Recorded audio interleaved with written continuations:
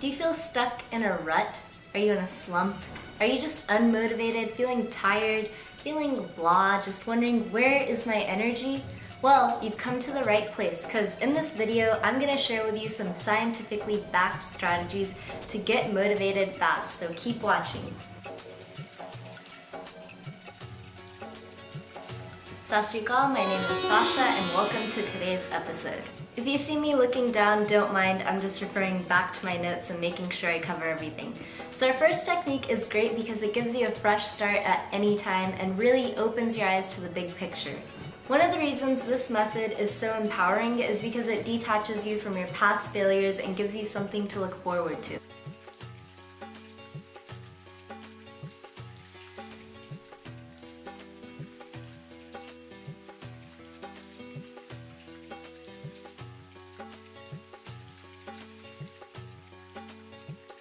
Basically, you want to give yourself a little pep talk.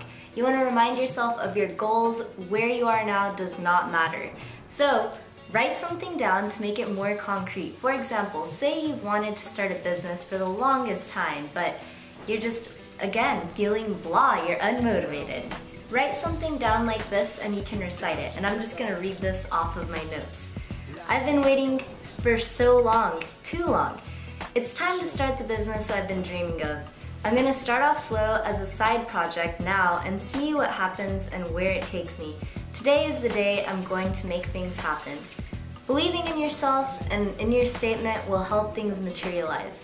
But having this on a piece of paper is gonna make it feel more real and it's gonna be right in front of your face. So when you say it out, out loud, make sure you say it with some conviction and some oomph.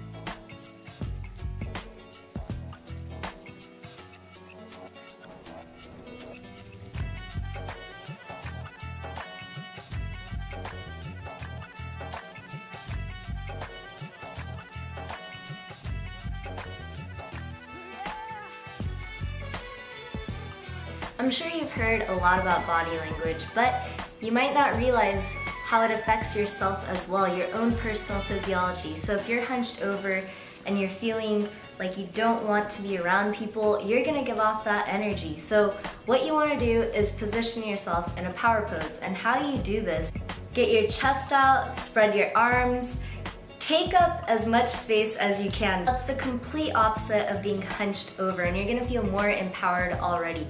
Stand up if you can, and the reason this works is because it basically boosts your testosterone and decreases your cortisol levels. Holding a high power pose for just two minutes, whether or not you're standing, as long as you're taking up space, your breathing and your posture is much better than a hunch position, your testosterone levels are gonna go up, your cortisol is gonna go down, which is a stress hormone, and you're gonna have a boost of confidence and decreased stress. Focus on your feet positioning, smile more. You know how they say fake it till you make it? There is proof that if you smile when you're in a bad mood, it's still gonna make you feel better, whether or not you want to. So just do it, force yourself. And don't say you can't do this because maybe you're sitting in a cubicle or something. Excuse yourself to go to the bathroom for a minute if you're embarrassed to do this in front of people, which I totally get. It might be sort of weird if you hop out of your desk all of a sudden and start, you know, hands on your hips and all that stuff. So do what you gotta do to get motivated.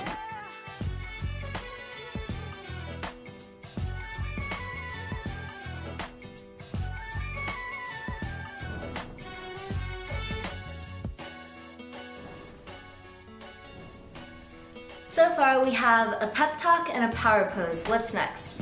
This one is really simple, invigorating, and calming. Basically, put yourself in the company of some greenery. I keep something green. I'm not very good at keeping plants alive, so I have this little succulent and it actually looks like it's fading, so I don't know how it's doing.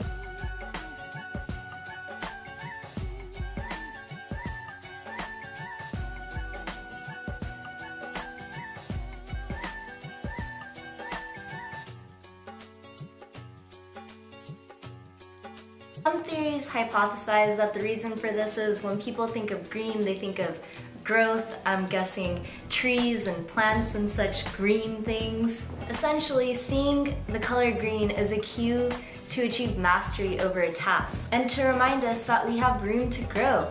So if you're in an environment that doesn't have any greenery, maybe go outside on your break, walk in a garden, take a stroll around a park, um, I don't know, put some green stuff in your cubicle, some pictures of trees, something serene and nice. There's a lot of ways, or get a little plant like this. I realized it didn't focus the first time, but look how cute it is. I don't know if it worked that time either, but hopefully.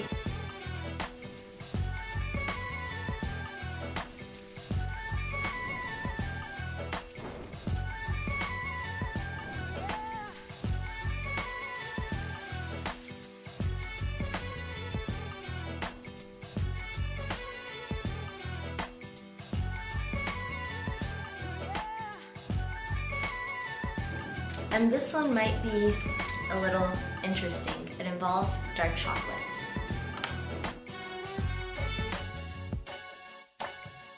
For a surge of motivation, you can have some dark chocolate. And the reason is, this makes your body release dopamine and phenylethylamine.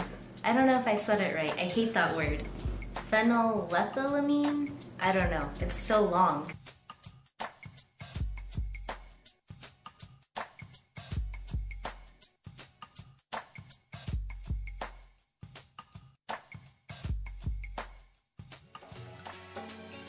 Technically, it's boosting your serotonin and phenylethylamine, if I said that correctly. Again, hold on.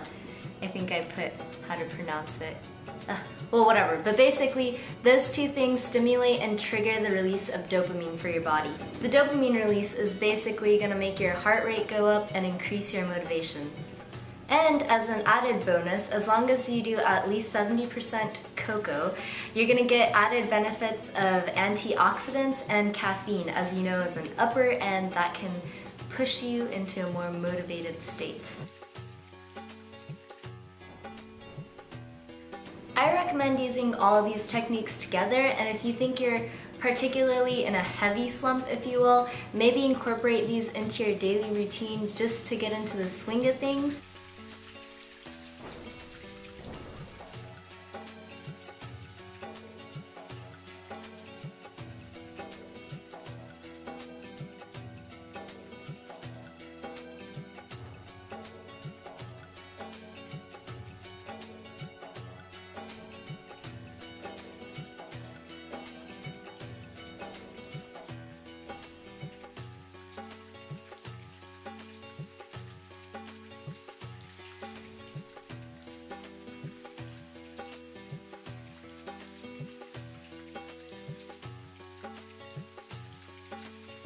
Either way, I hope you enjoyed this video, and if you have a favorite, comment below, or let me know what gets you motivated.